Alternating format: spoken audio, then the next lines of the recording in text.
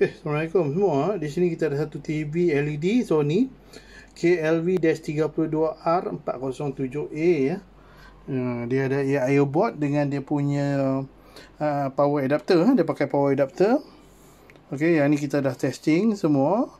Uh, memang kita dah cuba buat tapi tak berjaya. Okey, dia ada dia punya apa speaker on off button dan apa infrared eh.